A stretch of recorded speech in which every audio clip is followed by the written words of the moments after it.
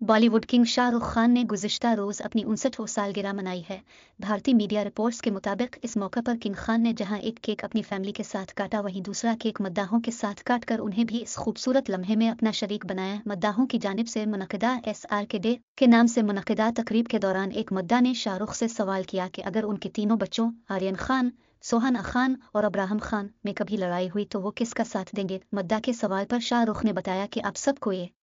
सुनकर अजीब लगेगा, लेकिन हकीकत यही है, मेरे तीनों बच्चों की कभी लड़ाई नहीं होती। किंग खान ने बताया कि ऐसा होना भी नहीं चाहिए, क्योंकि अगर ऐसा हुआ तो जायदाद के बंटवारे में मुश्किल पेश आएगी शाहरुख के मुताबिक। लेकिन इसके बावजूद अगर कभी लड़ाई होती है तो मैं सुहाना की हिमायत करूँगा। लड़के, बेटे, ठीक है, मैं उनको पसंद करता हूँ, लेकिन लड़कों के जिस्म पर बाल होते हैं। दूसरी तरफ़ लड़कियाँ खूबसूरत, नरम मिजाज और मज़बूत होती हैं, यही वजह है कि मैं झगड़े में अपनी बेटी की हिमायत करूँगा।